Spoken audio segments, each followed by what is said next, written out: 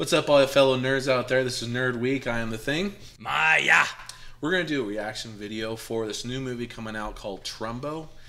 It's got my boy Bryan Cranston. We all know where he's from. Malcolm in the Middle. Breaking Bad. What the heck are you talking about? Who's watched Breaking Bad? I did. I watched all of it.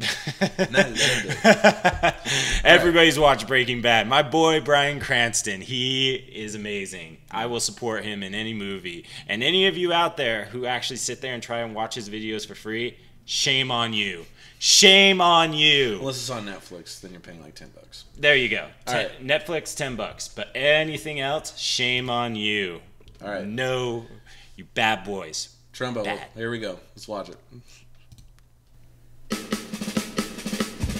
I love our country, and it's a good government, but anything could be better. You talk like a radical, but you live like a rich guy. It's a perfect combination. The radical may fight the purity of Jesus, but the rich guy wins with the cunning of Satan. Your next deal is going to make you the highest paid writer in Hollywood. Where do I sign? Are you now, or have you ever been a member of the Communist Party? Many questions can be answered yes or no only by a moron or a slave. No studio will ever employ a member of the Communist Party. Decent Americans feel that Hollywood is just a haven for overpaid traitors. Buddy, I got nothing to say to you. we do what everyone says we can't. We write. Are you out of your mind? Congress has no right to investigate what we think or how we make movies. I'll write you a movie. And you don't want your name on it. No, you don't want my name on it. Especially if you're still up to stuff. Are you? Perpetually. The blacklist is alive and well, and so is the black market. We should all be prepared to go to prison. I don't think you're willing to lose all of this just to do the right thing. You don't end something like this by giving them what they have no right to ask. phone for you. Well, who is it?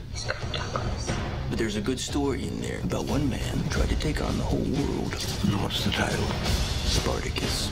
If we get one big movie, we can get all the big movies. Then this whole rotten thing could collapse. If there is some other writer's name on it, don't believe it. Fire Dalton Trumbo. I don't think you and me are going to be pals.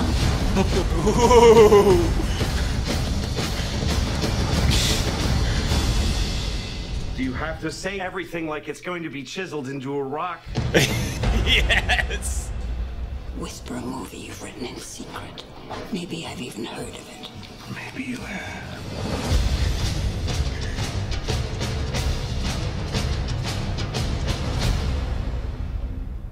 I'm loving it. Looks good. I'm loving it. You suggested this. I I fully approve, and you all should fully approve too.